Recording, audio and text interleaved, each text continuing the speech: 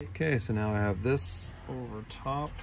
I have this little tool in here, pushed it down, tighten, tighten, and pull that out, and that's the.